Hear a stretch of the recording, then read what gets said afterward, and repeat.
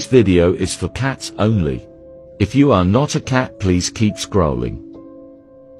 Now that all my fellow felines are here, I would like to teach you something very important. How to manipulate the human species to get what you want.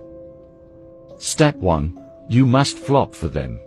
You may feel stupid doing this, but they think this is very cute and they love to see our bellies. Step 2. You must rub against their legs.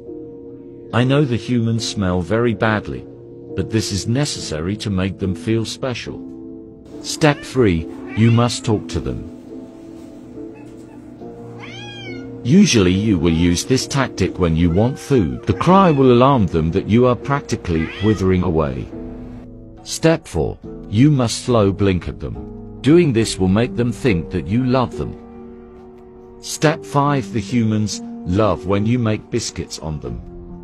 These tactics are scientifically proven to have your human wrapped around your paw and to manipulate them to do anything for you. Now if for some reason these things do not work, you must resort to more aggressive measures.